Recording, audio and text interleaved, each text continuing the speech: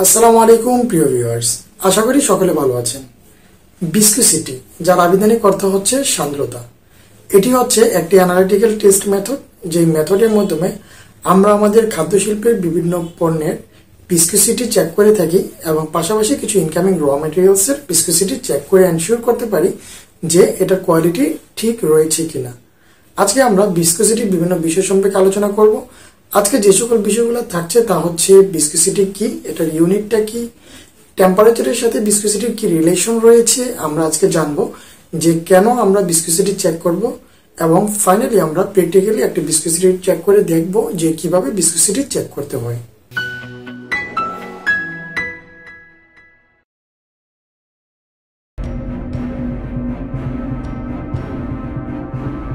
At first আমরা জেনে নেব বিস্কুসিটির ডেফিনেশনটা কি। Viscosity ডেফিনেশনে বলা হচ্ছে the viscosity of a fluid is a measure of its resistance to deformation অর্থাৎ এখানে যে জিনিসটা বোঝানো হচ্ছে, যে কোন একটা ফ্লুইডের viscosity হচ্ছে, কোন একটা ফ্লুইডের সেই ধরনের মেজার যেটা কি করে? ওই ফ্লুইডটা ডিফরমেশন হওয়ার যে রোধটা রয়েছে, অর্থাৎ ডিফরমেশন হওয়া থেকে রেজিস্ট্যান্স করার যেই ক্ষমতাটা রয়েছে, সেটাই হচ্ছে শো করে। অর্থাৎ যদি আমি একটি সিম্পল এক্সাম্পল দিয়ে বলি, যে সাধারণত পানি এবং হচ্ছে মধু দুটার মধ্যে পানিটি হচ্ছে একটু পাতলা এবং মধুটি একটু ঘন হয়ে থাকে। তুলনামূলকভাবে যদি আমি কম্পেয়ার করি, তো এখন পানির ভেতর দিয়ে আমি যদি কোনো একটি স্টিক এটাকে যদি ডুবিয়ে যদি আমি পাস করাই, তাহলে যতটা ইজিলি পাস হয়ে যাবে, মধুর ভেতরে স্টিকটা দিয়ে পাস করালে কিন্তু ততটা ইজি পাস হবে না। এখানে একটা রেজিস্ট্যান্স বা বাধা আমরা পাবো, অর্থাৎ কম্পারেটিভলি বাধা পাবো। কেন পাবো? বিকজ অফ পানির বিস্কুসিটি কম ছিল দ্যাট মিনস রেজিস্ট্যান্স কম। মধুর বিস্কুসিটি বেশি ছিল দ্যাট মিনস এটা রেজিস্ট্যান্স বেশি। সো আমরা যে জিনিসটা করি, আমরা হচ্ছে আমাদের প্রোডাক্টের কোন একটা লিকুইড প্রোডাক্টের যে রেজিস্ট্যান্স রয়েছে, সেই রেজিস্ট্যান্সটা নির্ণয় করার জন্য, অর্থাৎ নর্মাল ফ্লোতে কি পরিমাণ রেজিস্ট্যান্স তৈরি করে, সেটা নির্ণয় করার জন্য কিন্তু বিস্কুসিটিটা চেক করে থাকি। বিস্কুসিটি নর্মালি যে ইউনিটে প্রকাশ করা হয়, সেটি হচ্ছে centipoise one centipoise equals to one millipascal second এটা দিয়েও প্রকাশ করা হয়। পাশাপাশি প্যাসকেল সেকেন্ড দিয়েও প্রকাশ করা হয়, সেক্ষেত্রে one centipoise equals to ten inverse three pascal second so আমরা আমাদের ফুড ইন্ডাস্ট্রিতে কমনলি যেই ইউনিটটি ইউজ করে থাকি, সেটি হচ্ছে centipoise or milli pascal second অর্থাৎ one centipoise equals to one milli pascal second দুটা একই। সো আমরা জেনে নিলাম যে এটার ইউনিটটা কি হয়। এবং আরেকটি নোট হচ্ছে যে টেম্পারেচারের সাথে বিস্কুসিটির একটি রিলেশন রয়েছে। অর্থাৎ আমরা যখন বিস্কুসিটি চেক করব, তখন অ্যাডজাক্ট টোয়েন্টি ডিগ্রি সেলসিয়াস টেম্পারেচারে বিস্কুটি বিস্কুসিটি চেক করার ট্রাই করব। বিকজ অফ বিস্কুসিটি চেক করার বা বিস্কুসিটি নির্ণয় করার স্ট্যান্ডার্ড টেম্পারেচার হচ্ছে টোয়েন্টি ডিগ্রি সেলসিয়াস টেম্পারেচার যদি টেম্পারেচার বেড়ে যায়, সেক্ষেত্রে আমরা বিস্কুসিটি কম পাবো। আর যদি টেম্পারেচার কম হয়, তাহলে বিস্কুসিটি বেশি পাবো। এটা কেন পাবো? ধরুন, আমরা জানি যে যখন একটা নর্মাল অবস্থায় একটা লিকুইড প্রোডাক্টের যে মলিকুলসগুলো রয়েছে, সেটি যে অবস্থায় থাকে হিট বাড়ার সাথে সাথে মলিকুলসগুলোর আন্তঃনবিক ফাঁক বেড়ে যায়, অর্থাৎ এটা এক্সপেনশন হয়। সেক্ষেত্রে যে জিনিসটা হয়, যদি কোনো একটা কিছু পাস হয় বা কোনো একটা রোটর এখানে কাজ করে, তাহলে কিন্তু ইজিলি মুভ করতে পারে বিকজ অফ কম মলিকুল তাকে ফ্রিকশন করছে বা রেজিস্ট্যান্স করছে। তো এই কারণে কিন্তু টেম্পারেচার স্লাইটলি বাড়লেও কিন্তু আমাদের বিস্কুসিটি রেঞ্জে ডেভিয়েশন হয়। নর্মালি লিকুইড কোনো আইটেমের ক্ষেত্রে টেম্পারেচার যখন বাড়ে বিস্কুসিটি কমে টেম্পারেচার যখন বিশের নিচে যায়, তখন কিন্তু বিস্কুসিটি বেড়ে যায় একই স্যাম্পলের কিন্তু গ্যাসের ক্ষেত্রে ঠিক এটার উল্টোটা হয়। তো আমরা জেনে নিলাম যে টেম্পারেচারের সাথে বিস্কুসিটি কি রিলেশন রয়েছে। আমরা বিস্কুসিটি কেন চেক করব? নর্মালি বিস্কুসিটি কিন্তু আমাদের ফ্রুট ড্রিঙ্কস জাতীয় যে ধরনের প্রোডাক্টগুলো হয় ফ্রুট ড্রিঙ্কস বা জুস বা সস এই টাইপের প্রোডাক্টগুলোতে কিন্তু আমরা বিস্কুসিটি নর্মালি চেক করে থাকি। কেন করে থাকি? কারণ ফুড ড্রিঙ্কসে আমরা থিকেনার এজেন্ট ইউজ করি ফুড ড্রিঙ্কসে আমরা পাল্প ইউজ করি সুগার অ্যান্ড আদার্স কিছু কম্পোনেন্ট ইউজ করি। তো যখন আমার প্রোডাক্টে একটা অ্যাকসেপ্টেড বিসকাস অর্থাৎ এটা থিকনেসটা যদি অ্যাকসেপ্ট লেভেলে না হয়, তাহলে কিন্তু কনজিউম করে একটা প্রপার টেস্ট পাওয়া যায় না। অনেক সময় দেখা যায় যে নর্মালি হচ্ছে কিছু জুস যদি একটু পাতলা হয়ে যায়, অর্থাৎ এটা মুখে দিলে জাস্ট মিশে যাচ্ছে এটার বিসকাসনেসটা অনেক কম, তাহলে কিন্তু অ্যাডজাক্ট টেস্টটা পাওয়া যায় না। সো সেই জন্য কিন্তু বিস্কুসিটি আমরা কন্ট্রোল করে থাকি। নর্মালি ফ্রুট ড্রিঙ্কসের জন্য বা জুসের জন্য আমরা যে কাজটা করে থাকি, সেটা হচ্ছে ফিফটি টু হান্ড্রেড সেন্টিপয়েস এই রেঞ্জে আমরা এটা দেখে থাকি। আর আদার্স আমাদের রিকোয়ারমেন্ট বেসিসে আদার্স প্রোডাক্টেও আমরা বিস্কুসিটি চেক করতে পারি। ইনকামিং র মেটেরিয়ালস এটাও ইম্পর্টেন্ট একটা জিনিস।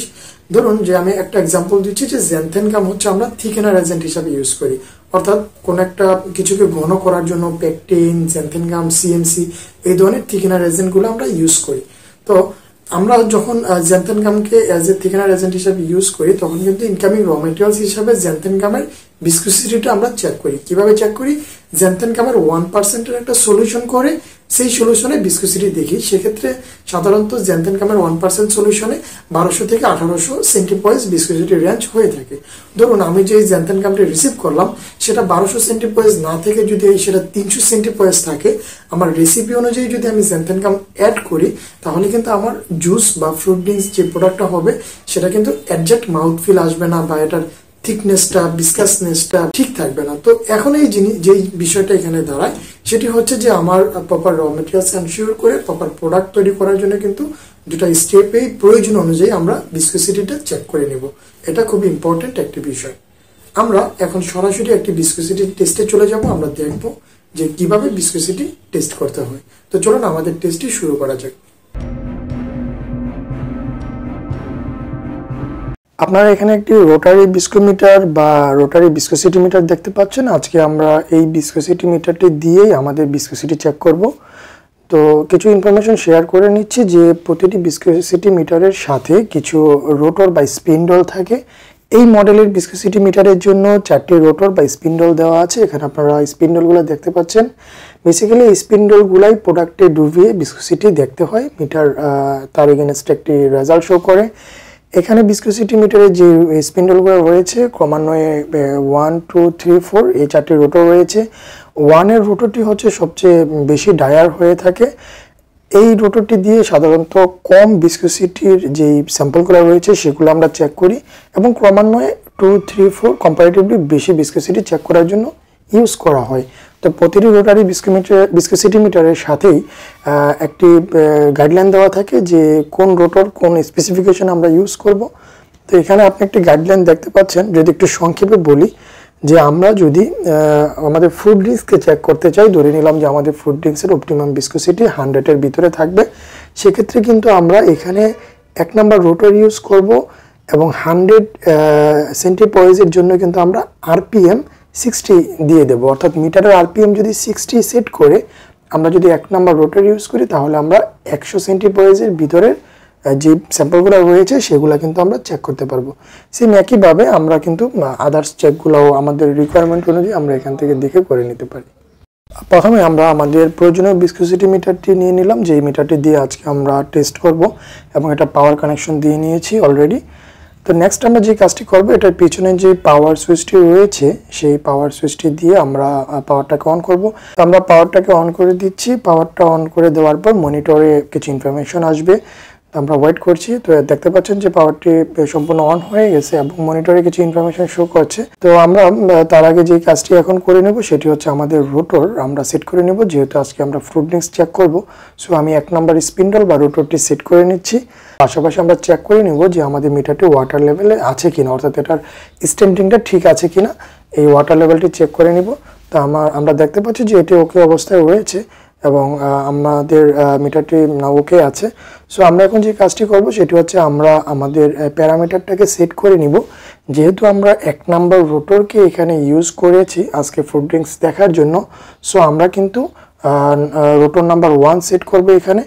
এবং পাশাপাশি হচ্ছে আমরা যেহেতু হান্ড্রেড হান্ড্রেড সেন্টিপয়েজের ভিতরেই থাকবে সো আমরা সিক্সটি আরপিএম সেট করে দিব।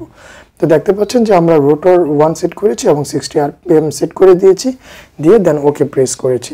নাও আমরা যে কাজটি করছি সেটি হচ্ছে যে লিফটিং নবটি রয়েছে, সেটি দিয়ে আমাদের এই বিস্কুসিটি হেডটু উপরে নিচে করে নিচ্ছি এবং আমরা একটি গ্লাস এখানে সেট করে নিচ্ছি এবং তার ভিতরে আমাদের প্রয়োজনীয় যে ফুড ড্রিঙ্কসের স্যাম্পল রয়েছে, সেটি আমরা এখানে দিয়ে দিচ্ছি।